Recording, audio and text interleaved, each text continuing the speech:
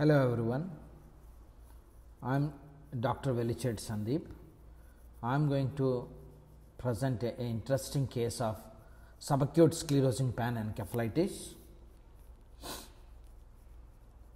14 years old female presented with myoclonic jerks, slight drowsiness is also there, but predominant presentation is myoclonic jerks.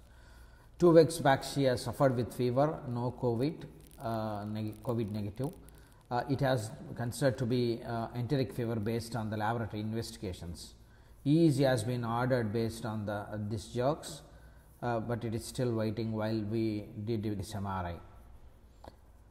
T1 weighted uh, uh, inversion recovery is in the protocol for the epilepsy. So, this we have done.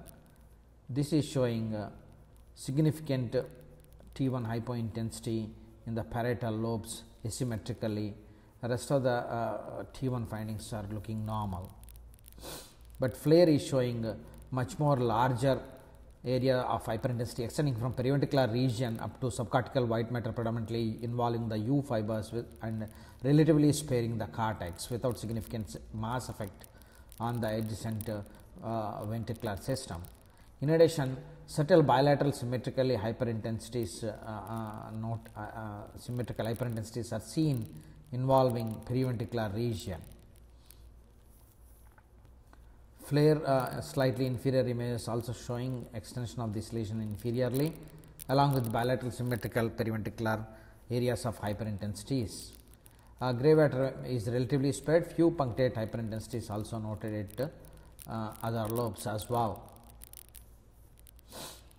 The same picture coronal it is showing periventricular area of hyperintensity extending up to uh, up to subarticular U fibers or involving the subcortical U fibers. Diffusion weighted imaging is showing some hyperintensity, but they are not really significantly showing reduced ADC values. So, no true restriction on diffusion weighted images.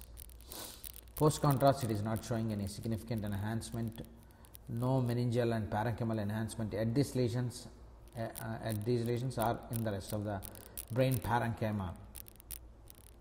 So, the diagnostic possibility in our mind is these four acute disseminated encephalomyelitis uh, because there is some history of some fever uh, and infection in the last month. Autoimmune encephalitis we have ordered for that uh, panel also along with this investigation which came negative later. Uh, subacute sclerosing panencephalitis based on the myoclonic jerks and some vague history of measles in the uh, childhood we have advised this. Direct encephalitis from the virus is less likely um, uh, because uh, there is no obvious areas of restriction or diffusion, patient is not that sick. ADEM also usually does not present such a large areas of patches.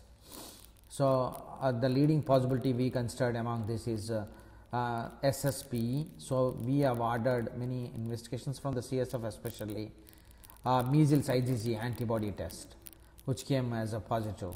Titer for IgG is positive 625. The pattern is more in favor of SSPE. They have advised us to correlate with EEG and clinical features. Subacute sclerosing panencephalitis, a brief review. It, it is predominantly white matter disease. It can be asymmetrical, it can be symmetrical, it can be periventricular region, subcortical region. So, rarely it can involve uh, the gray matter. Sometimes it involves uh, uh, the gray matter. Uh, it may enhance rarely, usually it doesn't. It comes primarily in children and young, adults after uh, measles infection, a, a, sort of immune resistant measles virus. Uh, but it comes not immediately with the latency period of uh, 4 to 23 years. So, mean age of presentation is uh, 9 to 13 years of age, but it can present at young adult age also. SSP is a neurodegenerative disorder, persistent infection of the brain in some altered form.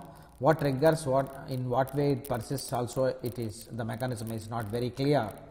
EEG shows characteristic periodic slow wave complexes uh, which are sometimes diagnostic.